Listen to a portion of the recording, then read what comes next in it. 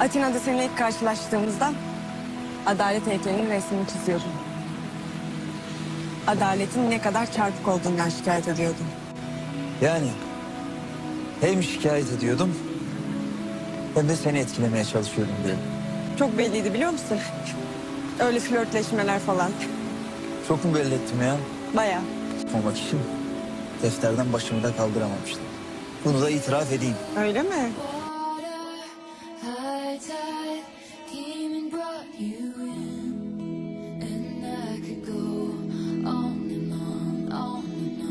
Ya sen böyle her şeyin en iyi yanını görmek zorundasın be kadın.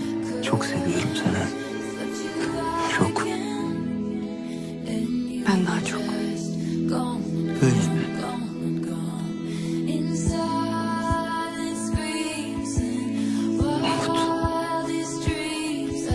Tamam ağla.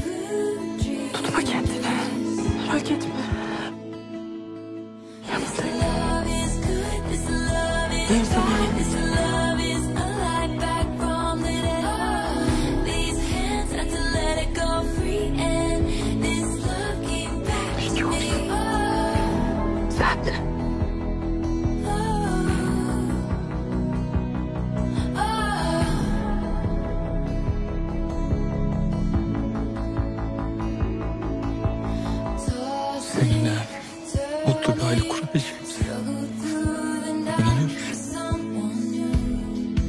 Umudun ölmediğini bana sen öğrettin. Seni seviyorum. Nereye gidiyorsan sevgimi de götüreyim. Her yerde seninle olayım tamam mı? Ben nasıl kaybolayım ki zaten? Kılavuz işim sensin benim. Yanılmazsan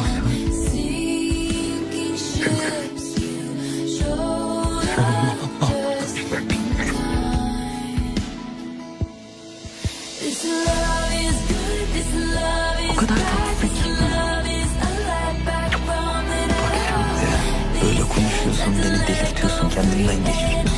E, iyi geceler öpücüğüm yok mu? Olmaz mı? Aşk, ölüme karşı bir meydan almak. En güzel isteyen. Sen benim bu dünyada başıma gelen en güzel şeysin. Benim de düşmemeyi öğrenmem lazım. Çünkü her seferinde yine yeniden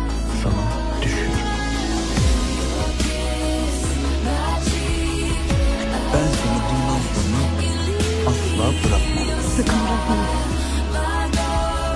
Ben seninle ilgili kararımı çocukken dans ettiğimiz gece vermiştim.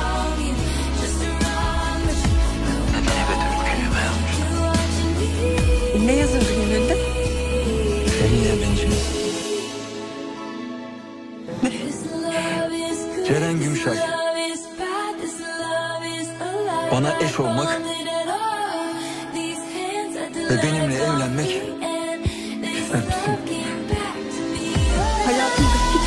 kadar çok istememiştim. Yani Yani evet.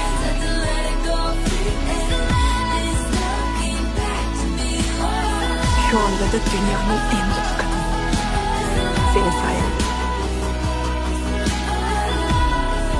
ben de şu an dünyanın en mutlu adamıyım. Daha önümüzde çok güzel günlerimiz, gecelerimiz olacak.